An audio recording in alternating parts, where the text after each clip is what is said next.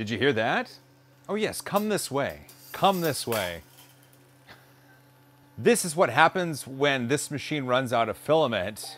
And this is a project that's gonna take me a while. This is as good a time as any to talk about this project. No, ah crap. Whatever, just roll the title. There you are. Welcome back. There's a reason I'm in my garage, and there's a reason it looks like Dexter up in here. Not me. Nope. So this is a big machine, and in the winter here in Seattle, it gets a little cold.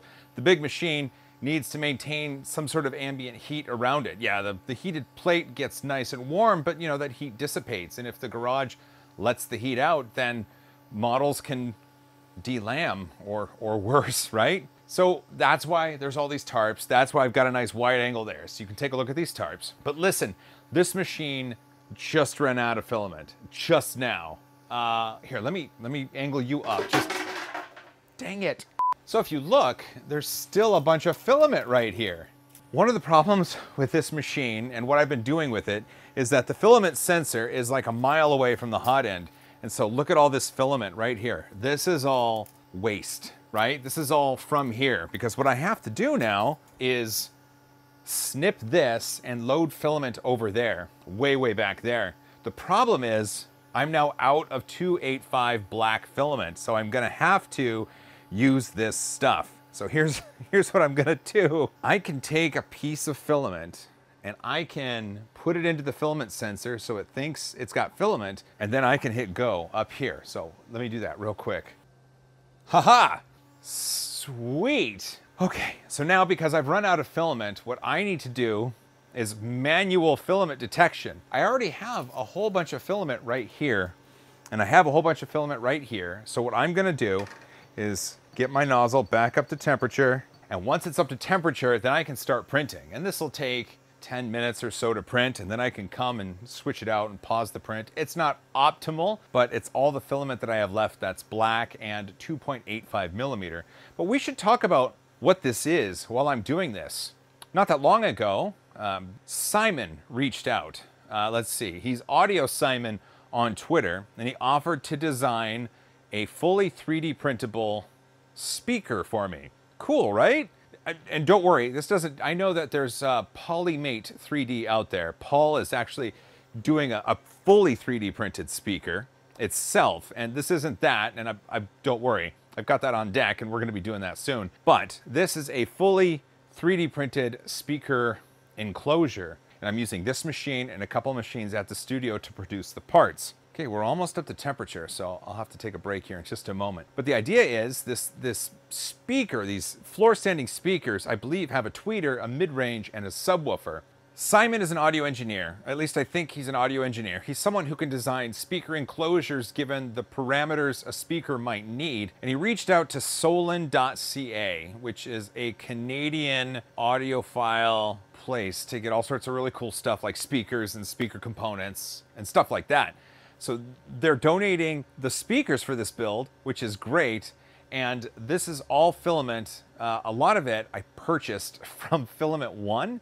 It's good stuff, and they were having a great sale, so I picked up a bunch of it. We're at temperature. Let's start it uh, this this has been a challenging build to say the least. I'm using the Gmax 2 and both CraftBots at the studio, and I'll talk about those in a in a later video. This one though, this is the 3D Platform 300 Series Workbench Pro, and I'm printing PLA material from FilamentOne. This is all, let's see, this is at 80 degrees on the bed, and it's 210 degrees C on the nozzle. The bed is slathered in Magigoo because I want the adhesion. And I'm running into some issues because I don't know if you can tell, it's already lifted from the bed already up here. And that's why you see these kind of inconsistencies right here. This machine in all its glory still has some issues with holding things onto the bed, especially when you're printing with giant thick extrusions. I'm using the left extruder on this one and it's fit with a 0.6 millimeter nozzle and I'm doing 0.3 millimeter layer height. This isn't the first time I've started this print. Here, you can kind of see that this is one where it started to get an issue and you can kind of see it right there. Uh, the problem was uh, it's just, it's lifting. So if you look at these grills right here, because they're extrusions and they go this direction, they want to curl back this way, which then lifts the front off the build plate. I've got a brim, I've got Magigoo. I was like, ah, crap, it's lifting. Let me put more Magigoo on and let me jump the bed to 80C. Maybe it'll hang on. And uh, it didn't. It really, really didn't. So I don't, I don't know if it's gonna work. I hope it does. Anyway, this is the base. There's two top, there's a top portion, there's a cap, and then there's a front. And the front is what I wanna show you next. There we go, look at that. It's got a Joelbot on the front.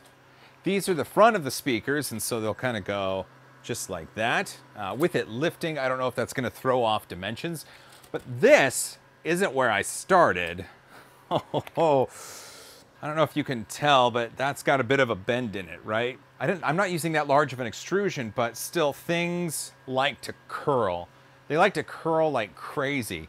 And it's all I can do to keep it on the bed. I was, I was thinking temperatures are what needed to happen, but no, no, that hasn't been it. So this nozzle here, this isn't the one that was on the machine. It was shipped with another nozzle, which is great because this one broke. So while I was printing one of these, the filament started to lift off the bed and it got in the way of this. And it started to drag it around and then it got caught on something.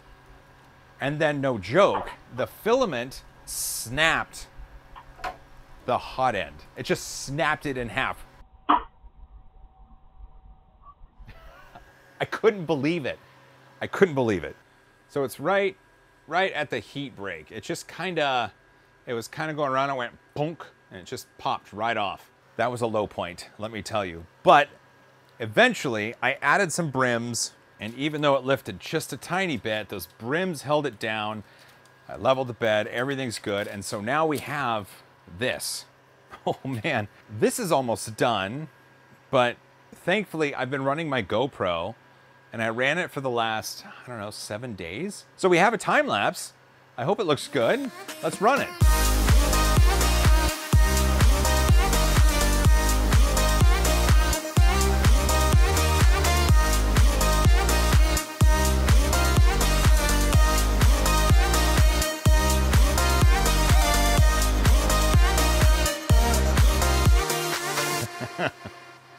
That was a great time lapse, wasn't it? It's, it's crazy that the GoPro can record for so many days in a row. There were pauses, and eventually I would, I would come down here and swap out the filaments, and then it would get to printing again. According to the display, one hour, 58 minutes left. I don't know if I have enough to carry it, but I'll, I'll do my best. Fingers crossed. Six hours later.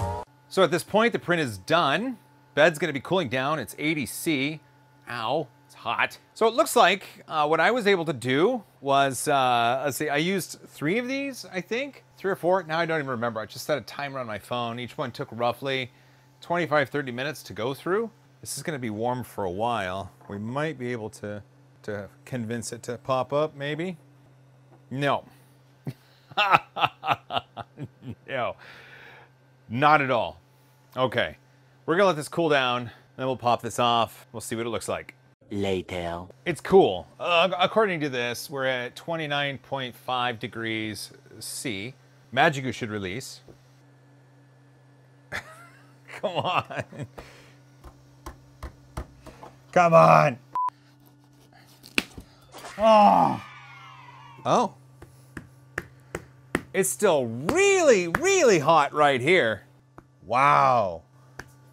I don't know if it's because it was Oh, crap.